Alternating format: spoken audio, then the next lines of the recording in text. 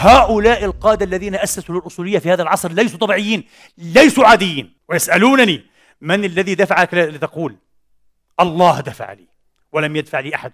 وأقسم بعزة الله لو جاءني الموت الآن ما عدت عن كلامي هذا. نحن نحن نحن سذج بسطاء وغلابة ونحن مغفلون.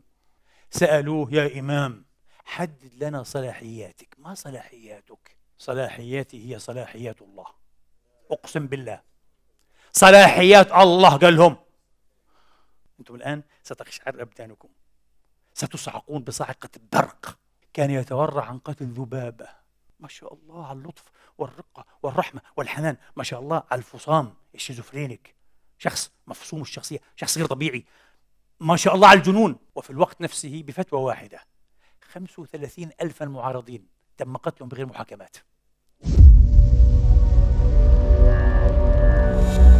حتقول لي معقول معقول أن مسلما يبلغ به الغرور والجهل.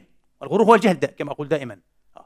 أنه ربما يظن نفسه فاق النبي عدلا وقسطا وربما علما ورحمة. طبعا طبعا. وقلنا وقلنا في قيادات إسلامية كبيرة في هذا العصر. باحت بكلام وكتبته. يفهم منه أنهم فضلوا أنفسهم على أنبياء الله العظام من بعض الزوايا والجهات ما رأيكم؟ قبل أيام أقرأ لأحدهم. وسأفيض قليلا في الحديث عن هذا الرجل المرعب. زعيم إسلامي كبير معروف على نطاق عالمي. يكتب 1988 لكن قبل ذلك كتب في وصيته وهي مطبوعة بفضل الله.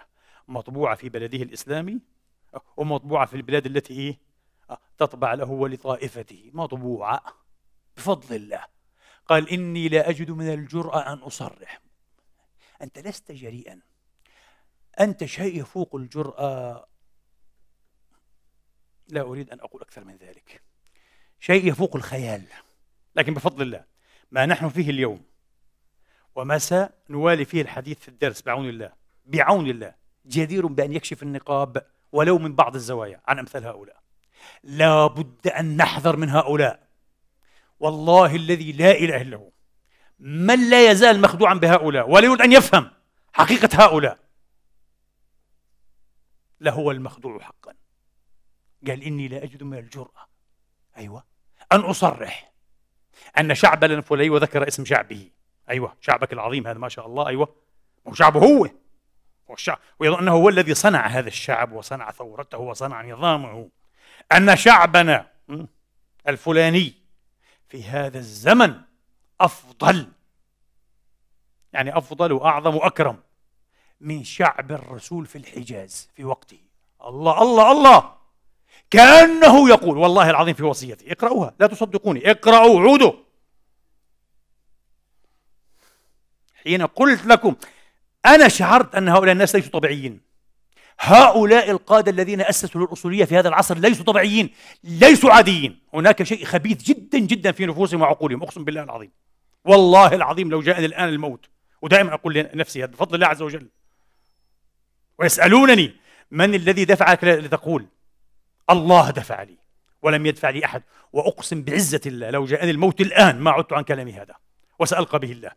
بل أنا سألقى الله به وأنا مرتاح الضمير أقول يا ربي أفضت بما عندي. قلت أنا أبرأت ذمتي وحذرت أمتي ونصحت لها. الأمة التي لا يزال كثيرون منها مخدوعين. بهذا الفكر وبهذا العبث واللعب بالدين. قال إني لأجد من الجرأة أن أصرح بأن شعبنا المسلم العظيم في هذا العصر أعظم أه من شعب الحجاز أيام رسول الله. واضح جدا. يقول أمتي أعظم من أمة محمد. أنا وشعبي وأصحابي أعظم إيه؟ من شعب وأصحاب محمد. لا لا لا بقي أن أسألك. أنت أنت أنت ماذا ترى في نفسك؟ هل أنت كمحمد أو أعظم؟ والله العظيم سؤل في هذا الموضوع.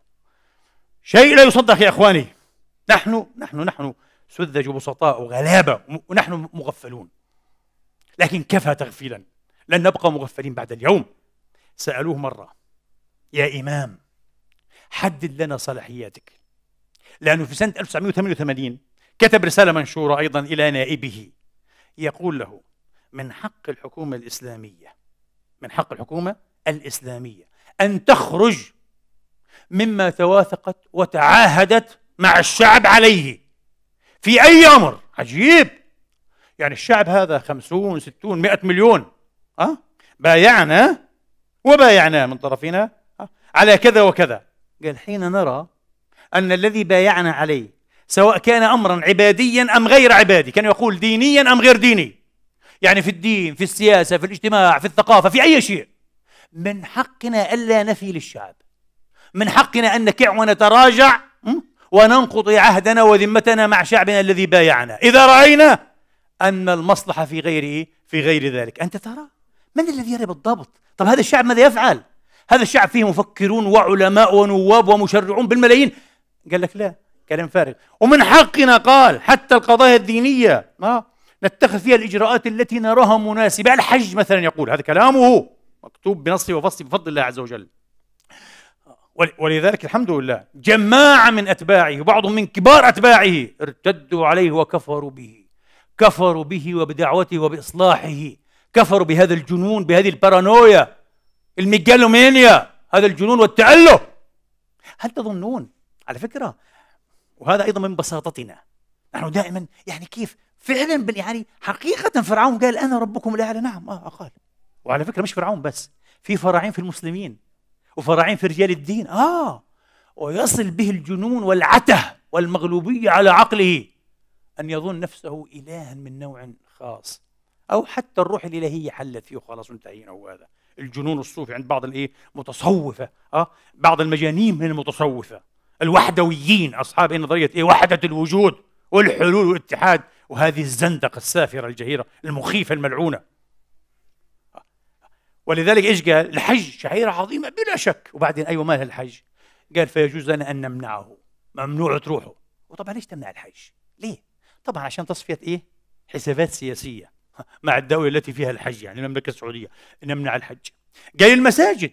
آه يمكن أن نعطلها إذا رأينا المصلحة في ذلك. شوف يعني يأتي بأمثلة بالذات من الدين. وهذا مصلح ديني كبير. يريد الإسلام هذا. آه يريد دين محمد. آه قال ويجوز لنا حتى أن ندمرها وأن نخربها ونمنع بناءها مرة أخرى. إذا تبين لنا أنها مساجد ضرار. وما أسهل أن تلصق إيه ملصق وليبل إيه ضرار على أي مسجد لا يعجبك. على أي خطيب وعلى أي فكر يبث هذا المسجد لا إيه لا يرضيك. وتقول مسجد ماذا؟ مسجد ضرار. وما أسهل أن تهدمه على رؤوس من يصلي فيه ويعمل الله بذكره. وربما بالذكر الذي يرضاه الله لا بذكرك أنت. إيش مخيف ومرعب؟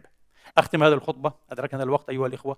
سألوه يا إمام حدد لنا صلاحياتك. ما صلاحياتك؟ يعني قريبة من صلاحيات النبوة هيك؟ تعرفون ماذا أجاب؟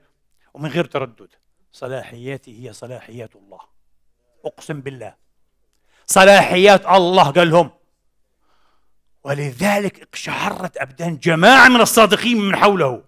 وليس المتأكلين المنتفعين الذين إيه وافقوا على ذلك. عادي آه. صلاحيات إلهية ما المانع يعني؟ طب ما النصارى قالوا يا الله حل في عيسى. يعني الله بكون حل في يعني إيش المشكلة؟ يعني في لها تخريجة فلسفية زنديقة صوفية ملعونة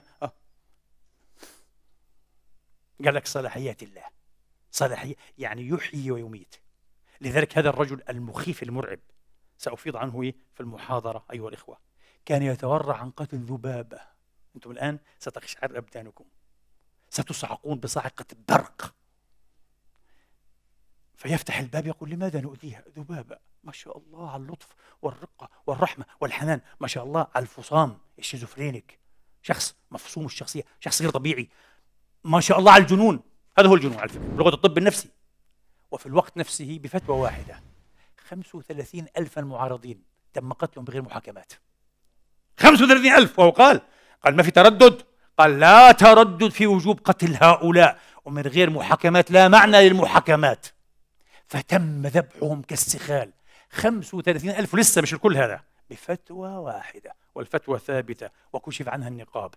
أقول قولي هذا وأستغفر الله لي ولكم فاستغفروه.